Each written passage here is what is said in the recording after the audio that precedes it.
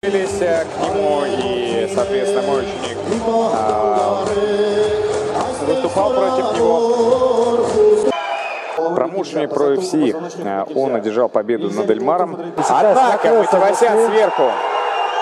И посмотрите, как тут э, трибуны буквально сразу. Это практически тяжелый вес, чтобы вы понимали, да, то есть каждый из них э, наверняка, э, если не на сгонке, весит около 100 килограмм. У них очень жесткие удары.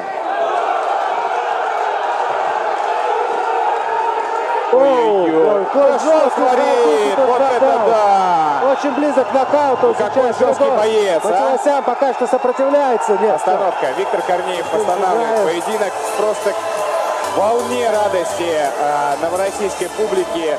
Здесь на юге большое количество, э, ну как это сказать, э, армян.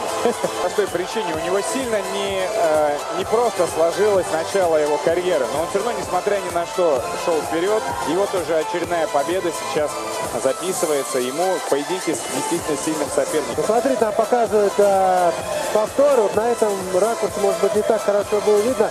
Но Муслим Чужаев слишком низко опустил левую руку. И тем самым просто он э, дал коридор. Да, возможно, правого. возможно, это связано с тем, что у него очень хорошо до этого получалось работать на смещении, а здесь не получилось. Наши поздравления. Хочу поблагодарить моих близких, моих братьев, родных, друзей, которые все приехали с разных городов. Спасибо очень большое. Спасибо моему отцу, моему родному брату. Арсену спасибо большое за поддержку. Брат, спасибо. Всем спасибо. Пожелаю, когда будет, я хочу подраться за пояс. Спасибо всем.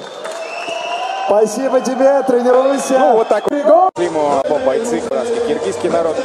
Я все-таки русский человек, и для нас, всех, кто родился а, в бывшем Советском Союзе, это наши родные братья. Чего